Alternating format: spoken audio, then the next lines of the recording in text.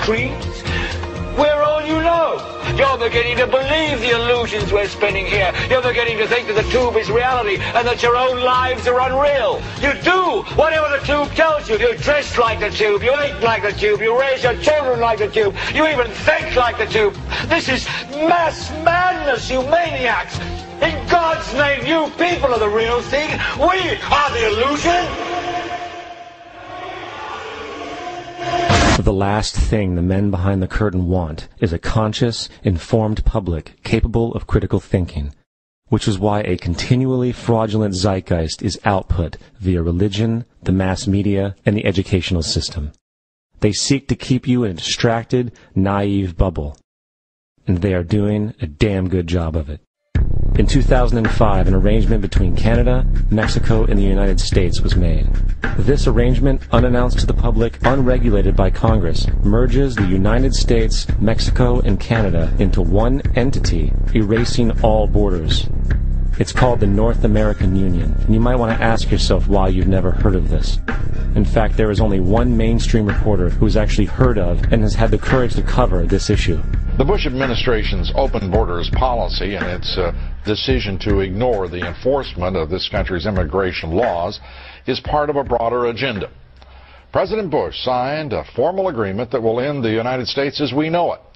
And he took the step without approval from either the U.S. Congress or the people of the United States. It's a deal that few have even heard of. It's being done again by very few people at the very top on behalf of the investment class, but the working class of people. Uh, political officials across our country from communities, uh, from cities and so forth, they don't know anything about this. This isn't some trade agreement. It is a total removal of sovereignty from these countries, which will also result in a completely new currency called the Amero fall. Um, apart from that, I think one thing people who are dollar-based need to focus on is the Amero. That's the one thing that nobody's talking about, but I think it's going to have a big impact on uh, on everybody's life in Canada, the U.S., and uh, Mexico. The Amero is the proposed new currency for the North American community, which is being uh, developed right now between Canada, the U.S., and Mexico to make a borderless community, much like the EU, and uh, the dollar, Canadian dollar, U.S. dollar, and the Mexican peso replaced by the Amero. By default of this agreement, the American Constitution will eventually be obsolete. You would think that a situation like this would be on the cover of every major newspaper. That is until you realize that the people who are behind this movement are the same people behind the mainstream media, and you are not told what you're not supposed to know. The North American Union is the same concept as the European Union, the African Union, and the soon-to-be Asian Union, and the same people are behind all of them. And, when the time is right, the North American Union, the European Union, the African Union, and the Asian Union will be merged together, forming the final stages of a plan these men have been working on for over 60 years. A one world government.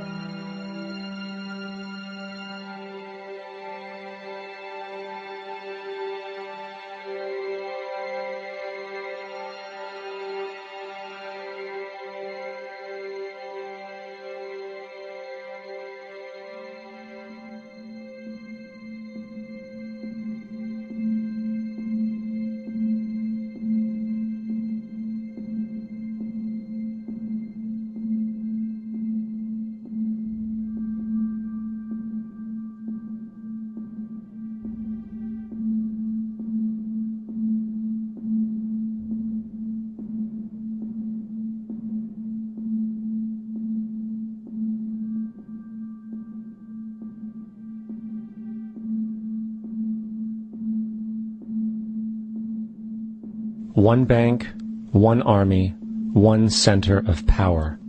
And if we have learned anything from history, it is that power corrupts, and absolute power corrupts absolutely. This is Aaron Russo, a filmmaker and former politician. To his left is Nicholas Rockefeller of the infamous Rockefeller banking and business dynasty.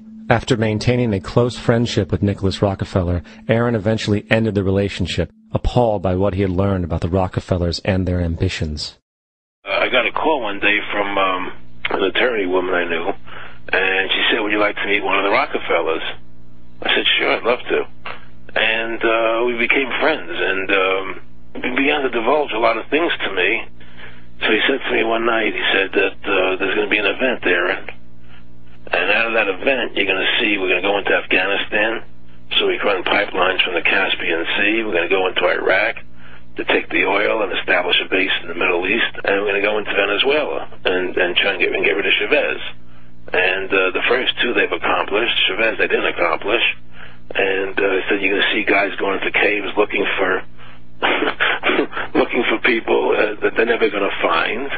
You know, he was laughing about the fact that you have this war on terror. There's no real enemy. He's talking about how by having this war on terror, you can never win it because it's, it's, it's an eternal war, and so you can always keep taking people's liberties away. And I said, how are you going to convince people that this war is real? He said, but the media. The media can convince everybody it's real. I mean, you know, it's just that you keep talking about things, you keep saying it over and over and over again, and eventually people believe it. You know, you created the Federal Reserve in 1913 through lies. You create 9/11, which is another lie through 9/11, you then you're fighting a war on terror, and now all of a sudden you go into Iraq, which was another lie, and now they're going to do Iran. You know, and it's all one thing leading to another, leading to another, leading to another. Now, I would say, to why do you, what are you doing this for? What, what, what's the point of this thing? You have all the money in the world you ever want. You have all the power. I said, you know, you're hurting people. It's, it's not a good thing. And he would say, what do you care about the people for? Take care of yourself and you take care of your family. And then I said him, what's the ultimate, what are the ultimate goals here? So the ultimate the goal, the ultimate goal is to get everybody in this world chipped with the chip, with the RFID chip, and uh, have all money be on those chips and everything on those chips. And if anybody wants to protest what we do or violate what we want, we just turn off the chip. That's right, microchipped. In 2005, Congress, under the pretense of immigration control and the so-called war on terrorism, passed the Real ID Act, under which it is projected by May 2008 you will be required to carry around a federal identification card, which includes on it a scannable barcode with your personal information.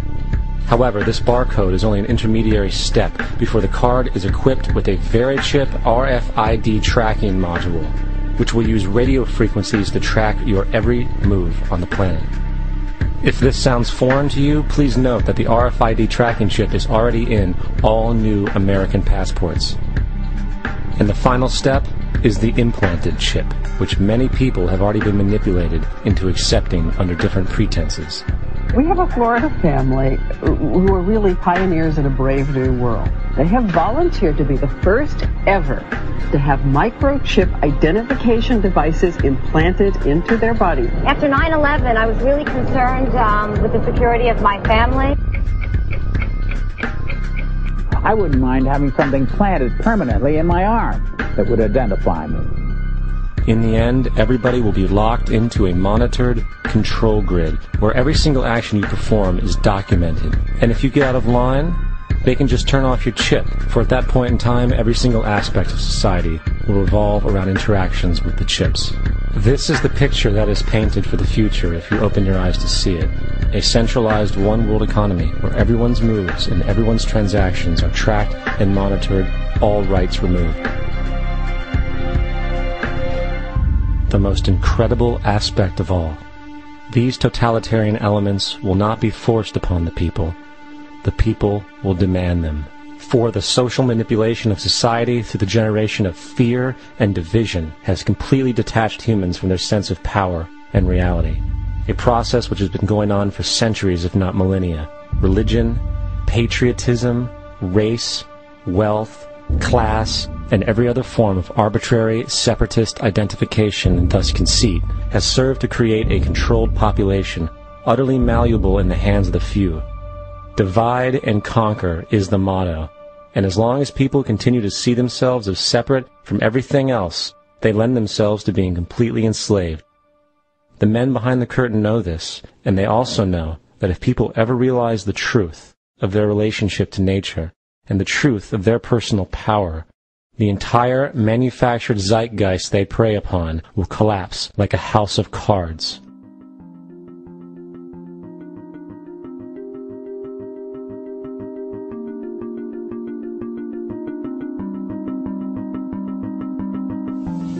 The whole system that we live in drills into us that we're powerless, that we're weak, that our society is evil, that it's crime-ridden, etc., and so forth.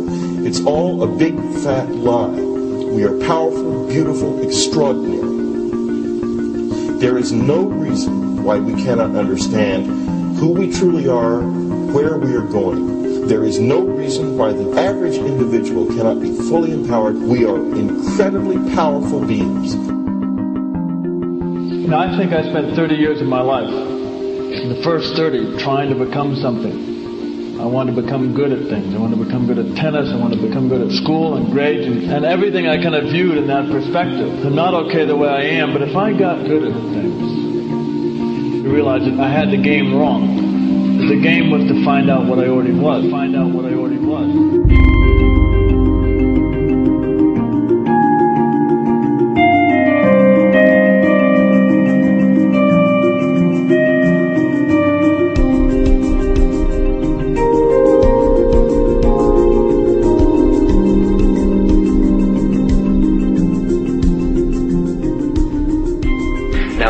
Culture, we've been trained for individual differences to stand out. So you look at each person, immediately it is brighter, dumber, older, younger, richer, poorer, and we make all these dimensional dis- distinctions, put them in categories, and treat them that way.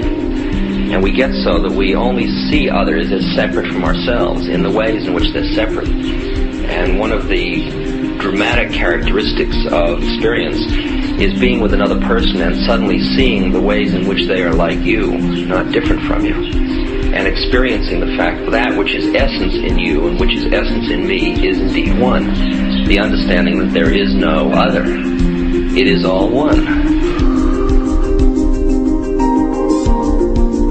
And I wasn't born Richard Alpert. I was just born as a human being. And then I learned this whole business of who I am and whether I'm good or bad or achieving or not. All that's learned along the way.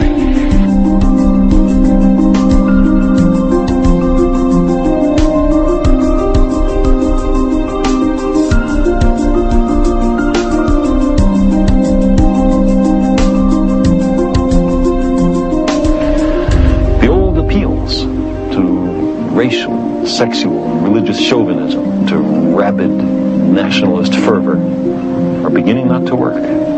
A new consciousness is developing which sees the earth as a single organism and recognizes that an organism at war with itself is doomed.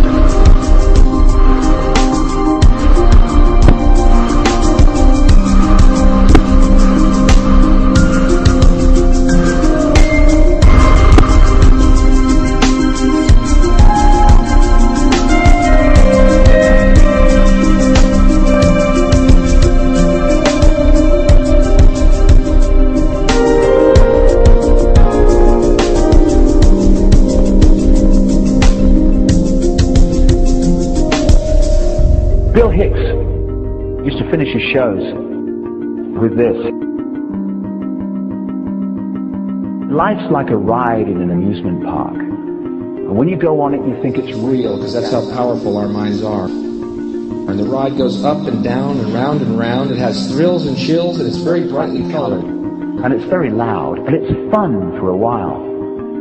Some have been on the ride for a long time and they begin to question, is this real Or is this just a ride? And other people have remembered, and they come back to us and they say, hey, don't worry. Don't be afraid ever. Because this is just a ride. And we kill those people. Shut him up. I've got a lot invested in this ride. Shut him up. Look at my furrows of worry. Look at my big bank account. And my family, this has to be real.